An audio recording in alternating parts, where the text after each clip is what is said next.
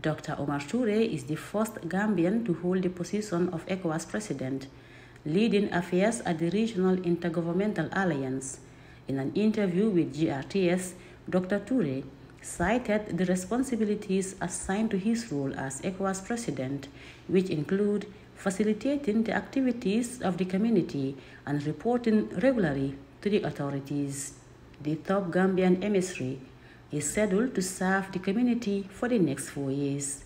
Outlining a brief history of ECOWAS, Dr. Touray said the community formed in 1975 has evolved over time, but the objective remains the same, with a primary ambition to integrate the region, which requires a number of measures, according to the ECOWAS Commission President.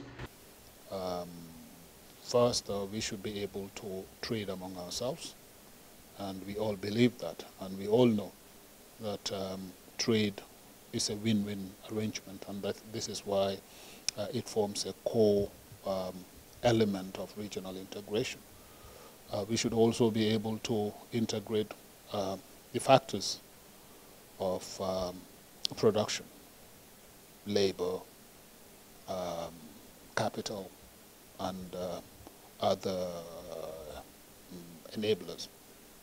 Now, this, it is within this context that um, ECOWAS has put in place this uh, free movement of persons uh, protocols.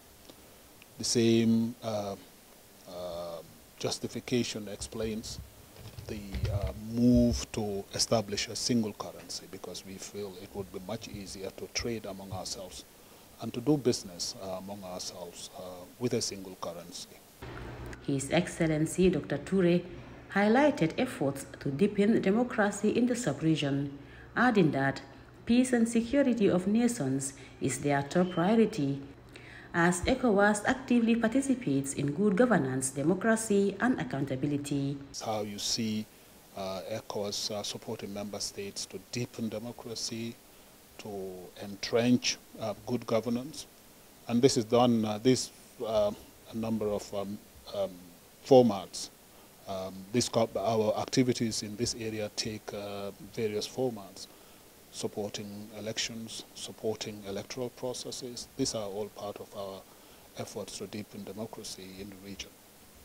He added that the sub-regional bloc's position on, on constitutional change of government has been consistent. Um, ECOWAS has a zero tolerance for unconstitutional change of government.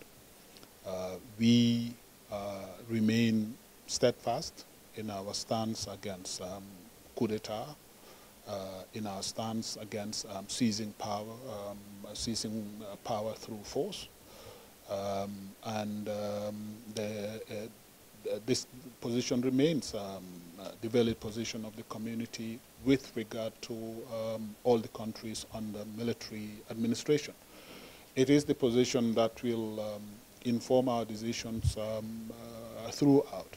And we do, we are confident that um, this position will dissuade um, future uh, coup makers because they know that they will stand rejected by the community and by the partners of the community.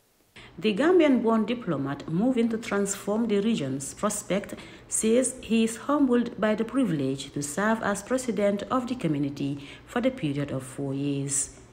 For the news, I am Aisha Bija daga Samai.